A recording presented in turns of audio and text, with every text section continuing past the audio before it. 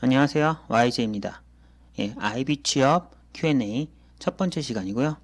보험사 심사역 및 투자, 투자 담당자 향후 커리어에 대해서 어, 질문해 주신 분이 계셔서 그거에 대한 답변을 드리도록 하겠습니다. 예, 질문은 어, 보시면은 생명보험사 투자심사 쪽에서 시작하게 되면 보통 향후 커리어가 어떻게 되는지 알 수 있을까요? 라는 질문을 해주셨고요. 네, 이건 좀 그림으로 답변 드리는 게 맞는 것 같아서 이번에 좀 그 유튜브로 올렸습니다. 보시면은 일단 두 개 다 썼어요. 지금 아래 있죠? 예. 투자 담당자, 투자 담당자도 있고 오른쪽에 심사 담당자 둘 다에 대해서 써봤고요. 어, 보통 일단 뭐 나이를 썼어요. 나이 쓰시면 처음에 들어오면은 투자 담당자, 심사 담당자 모두 보통은 어, 인프라 아니면은 실물 부동산, PF 셋 중에 하나를 아마 담당을 하게 될 거고요. 자기가 성장하면서 이제 인프라를 했던 분도 실물 부동산까지 업무 영역을 확대해야 될 것이고 이렇게 점점 확대되겠죠. 그리고 나서 마지막에는 이 전체 분야를 다 해야 이제 부서장으로 갈 수 있을 것 같아요. 심사도 마찬가지로 처음에는 뭐 PF에서 시작했을 수도 있고 실물 부동산 인프라에 살 수 있는데 점점 나이를 먹어가면서 업무 range를 넓혀서 결국은 다 할 수 있는 시점이 돼서 그때쯤에 이제 심사 부서장으로 올라가게 될 것 같고요. 이 중간 중간에 이제 옮길 수가 사실은 이 어, 투자 담, 심사 쪽보다는 이 자산운용본부 front 쪽이 사실 이직이 더 쉬워요. 그래서 보통은 여기서 뭐 인프라 담당에서 뭐 각, 보통 과장이었으면은 뭐 자산운용사 뭐 차장 정도로 한 칸 위 자산운용사를 주로 많이 가는데요. 보통 한 직급 올려서 가는 경우가 더 많아요. 왜냐면 뭐 보험사보다는 조직 규모가 작고 뭐 더 어릴 때 더 진급을 하니까 동일 나이 대에 한 칸 윗직급이 보통 많이 있거든요. 그래서 계속 투자 쪽을 하고 싶은 사람은 자산운용사에 가서 이제 투자를 하면 되고 자산운용사 인프라 자산운용사 인프라 전용 부서로 가면은 거기서 사실은 인프라만 하면서 본부장까지 올라갈 수도 있는 거고요. 부동산 전문 자산운용사로 가게 되면은 거기에서 부동산만 하면서 또 임원까지 올라갈 수 있겠죠. 예, 뭐 그런 식으로 한 분야에서 그냥 끝까지 가고 싶으신 분은 어느 정도 하다가 자산용사, 그러니까 해당 자산용사, 뭐 부동산 전문 자산용사든 뭐 아니면 일반 뭐 KB 자산운용 같은데 인프라 본부든 그런 자기가 원하는 그 speciality한 부분으로 가서 쭉 크는 경우가 있고요.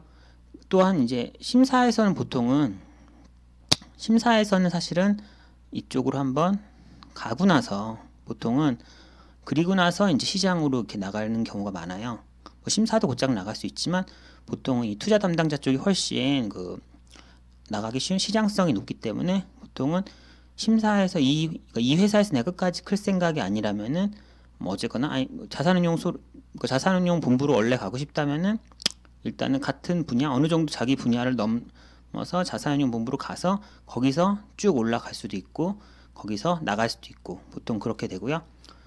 일단 물어보신 분이 심사니까 심사 부분 위주로 말씀드리면 말씀드린 대로 보통 한 심사 쪽은 부서장이 뭐 한 45살, 50살 정도 되면 부서장을 하시죠. 그 정도 나이가 되니까 자기는 사실은 점점 range를 넓혀가면서 점점 넓혀가면서 부서장까지 가게 될 거예요. 계속 있으면은 그리고 나서 사실은 이 여기서 이 한 칸 위로 올라가는 거는 정말 쉽지 않아요. 왜냐하면 자기가 대체 투자든 모든 분야를 했었어도 일로 가려면은 그 보험사의 CRO의 경우는 어, 업무의 한 3분의 1 정도가 투자 관련이면은 나머지 3분의 2는 전혀 다른 어, 보험에 대한 뭐 계리, 보험, 상품, 보험 영업 같은 보험 부분이 사실은 3분의 2이기 때문에 내가 지금 대, 투자만을 했던 내가 이 위로 올라가기 위해서는 그동안 내가 한 건 3분의 1밖에 안 되고 새로운 3분의 2에 대한 걸 새로 익혀야 되는 리스크가 있어서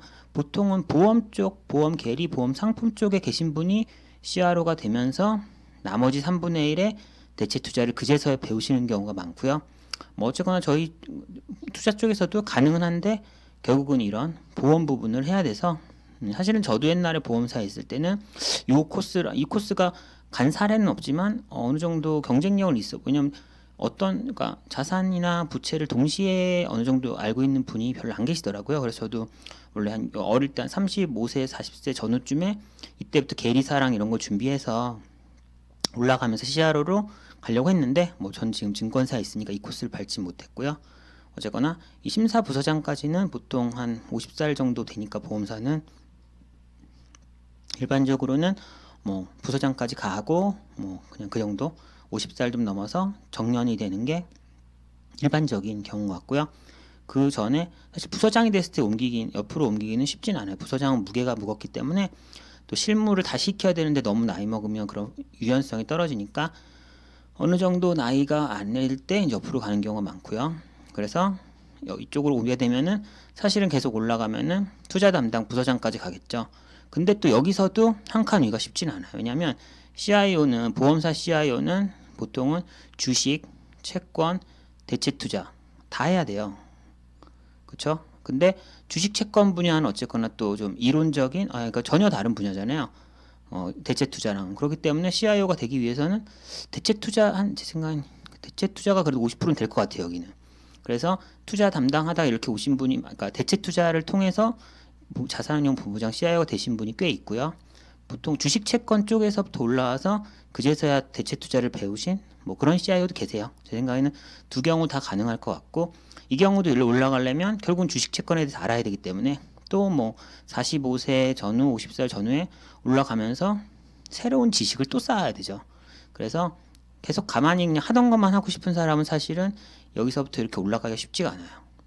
처음에 자기 분야 하다가 점점 분야도 넓혀야 되고 그 넓힌 분야를 통해서 부서장까지 왔더니 또 올라가려면 대체 투자가 아니 이번엔 주식 채권까지 더 넓은 range를 넓혀야 되기 때문에 계속 어떻게 보면 자기 개발을 하고 그 업무 영역을 확대할 생각을 해야 뭐 자산운용본부 투자에서 CIO까지 갈 수도 있고 심사 쪽에서 CRO까지도 갈 수 있을 것 같아요. 그러니까 좀 가만히 있는 사람은 좀 쉽지 않을 것 같아요. 계속 자기를 개발하고 새로운 걸 익혀야 될 것 같고요. 중간중간에 speciality로 그냥 계속 가고 싶으신 분은 도중에 이제 해당 그런 자산운용사 그 전문 그 부동산만 하는 실물 부동산 위주로 하는 인프라 위주로 하는 그 자산운용사에 가서 거기서 본부장이 되면은 거기선 어쨌거나 그래도 그 실물 인프라 그것만 하면 어느 정도 되니까 좀 special하게 업무 range, range를 넓히고 싶지 않으신 분은 자산운용사로 가는 경우가 많은 것 같습니다.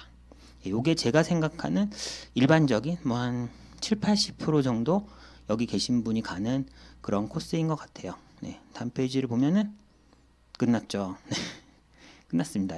아, Q&A 방식으로 하는 거 오늘 처음이어가지고 아, 되게 버벅이게 되네요. 아, 이거 익숙해지지가 않네. 네, 그래도 어쨌거나 좀 그림으로 표현해보고 싶어서 해봤고요. 많이 부족한 점이 있어도 양해 바라고 점점 성장하는 다음번 Q&A는 조금 더 자연스러운 그런 YJ가 될 수 있도록 하겠습니다. 예, 감사합니다.